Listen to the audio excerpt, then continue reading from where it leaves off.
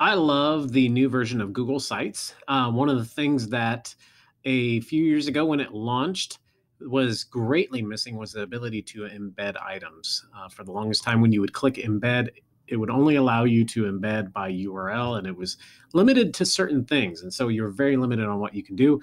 But finally, the new version of Google Sites allows you to copy and paste an embed code. And this is great if there are items that you need to embed, like, for example, what if I want to embed my Twitter feed on my website? So I'm going to go ahead and go to Twitter. I'll go ahead and show you where this example is. Um, it is a little obscure. Not everyone wants their Twitter feed on there, but this is just an example. So I'm going to go to my account here. I'm going to go to my settings and privacy. And in my settings and privacy, I can go over here to widgets. And then you can create a widget. And so you can choose whether it's a profile, a likes, a list, a collection, a search. It just depends on what you want posted there. So if there's a hashtag, you could even do like a specific hashtag that you want posted. I'm going to do my profile in this case.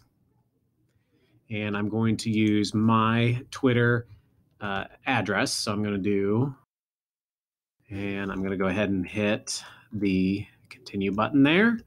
And you have an embedded timeline or Twitter buttons. I'm going to do an embedded timeline here.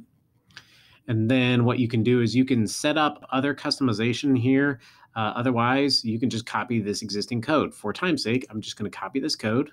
I'm going to go back to my Google site and I'm going to go ahead and embed a Twitter feed here. I switch it to embed code after I hit embed and I copy and paste it in and I hit next and it's going to show it to me and I can insert as I wish. And now this code is in here.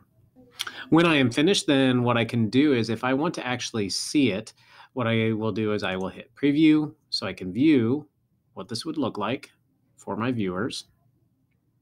And I do have the capability of viewing all my tweets. And then what's nice also within Google Sites is that it does condense into a nice mobile view and also a tablet view.